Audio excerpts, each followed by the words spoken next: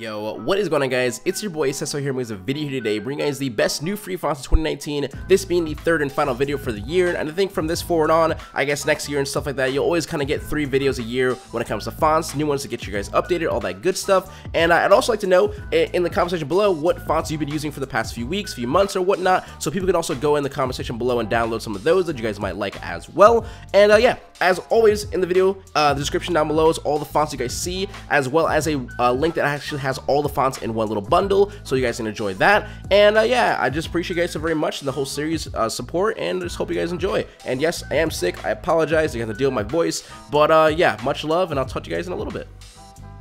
Alright homies, so first up is a font called Blacker. It's a super nice clean sans serif font. Just one of my fonts that kind of reminds me of like the Gotham family font that I really like so much. But I think I, I, I want to switch it up a little bit every now and again. So when it comes like the characters like the K's and the R's, a nice little seamless, almost like a retro modern look. And I can see it working for a lot of headers and like subtext. So if you guys want a nice clean font, this is definitely one to choose from. Alright guys, so next up is a font called Ammonite. It's a super nice clean bolded font. It's really cool, has like almost its own very original characteristic to it. I say that, but then I think about it and there's a font that looks just like this. Or not just like it, but it has like a little bit of characters to it. I don't know if you guys can remind me what it is, but it's like an older font. I can't quite get it now that I'm thinking of it.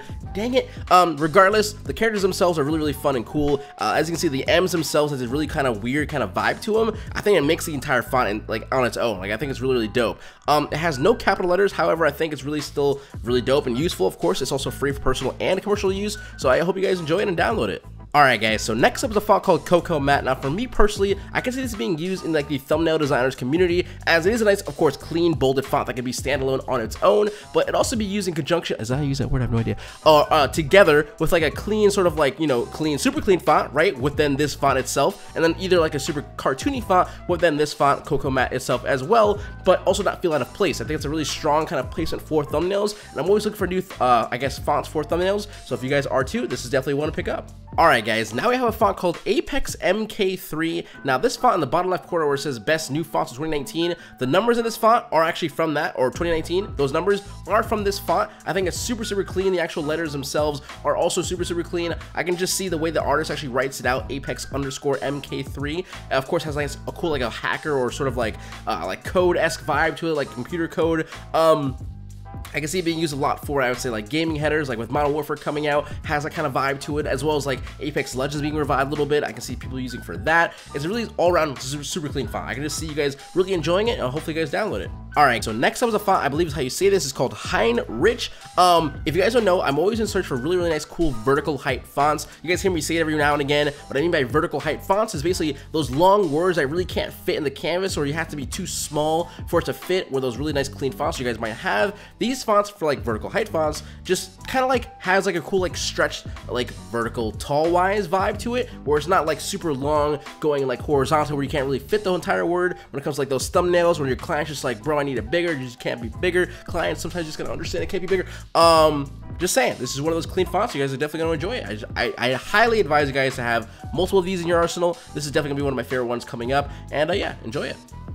Alright guys, so the last font for today's video, I was so I was so close to not putting it in the video because I wanted to keep it for myself and just be so quiet about it. But I must I think I'm still gonna be using in the 100 Thieves stuff. There's no way. I like I have to okay? So the next font is called Tundra. It's a very cool, weird, bolded font where it has like almost like a Tokyo, where like Japanese characters vibes into it, where almost like each letter, you can see each letter, right? You can see it's a T and a U, an N, and a D, a R, and A, but also can feel like they're their own individual characters, which I think is a super, super cool, like very dope style to it, right? Now, I do have free for personal and commercial use. I'm not entirely sure, and in any case, guys, when it comes to any font you guys want to use for commercial use, please, of course, address the actual artist and ask and always make sure because regardless some sites always uh can excuse me can get them wrong.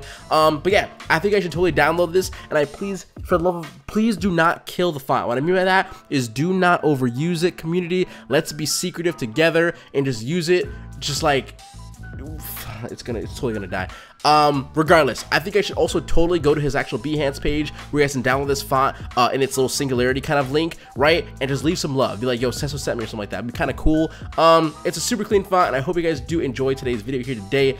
As always, guys, Seso HQ out. Do not forget to keep smiling, stay positive, and stay freaking productive, guys. Later, and much love. Do not forget, comment all your fonts you guys like and use right now in the description, uh, not description, in the comment section down below. And uh, uh, if you guys see ones you guys like, just kind of upload it, right? So that's all. So we all, so we all know what we need to download. Um, talk to you guys later. Peace. Love you.